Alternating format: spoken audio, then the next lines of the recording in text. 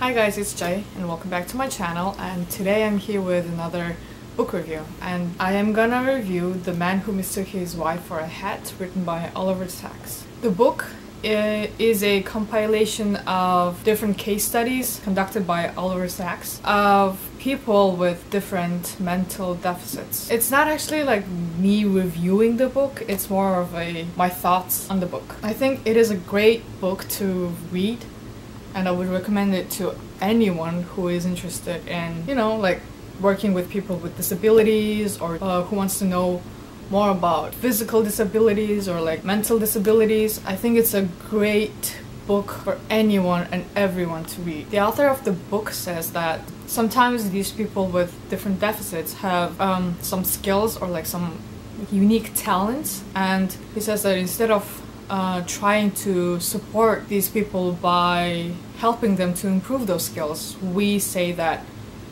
those people should not have like any talents or like any specific skills and they should just like try to fit in into our, our society by learning bedtime man manners and like maintaining eye contact or like knowing how to use public transportation and stuff. And the author of the book Oliver Sacks. He says that uh, instead of doing that, we should help them become more skilled in whatever they do, be it painting, be it listening to music or like creating music or like working with like you know some type some kind of like numbers or like prime numbers so that these people with different deficits can lead happier lives also the book makes us see and realize how subjective the definition of normalcy is. Whatever, say, I do is normal for me, and say,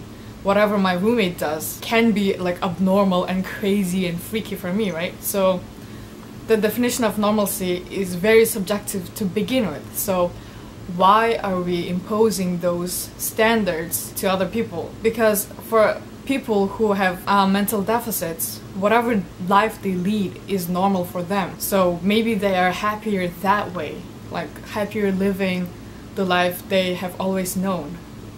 Instead of trying to fit into our society, you'll see that I have a lot of problems with the concept of normalcy and fitting in. Yeah, those are my thoughts on this amazing book. Sometimes it was kind of hard for me to follow what the author was talking about, but you will um, get the general picture of each case and what happened to the human being portrayed in each case study. So I recommend this book to anyone and everyone, as I said before.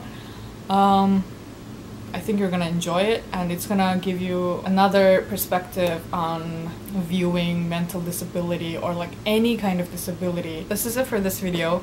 I think for my next video I'm gonna do um, a video called 10 or so books that I would definitely reread.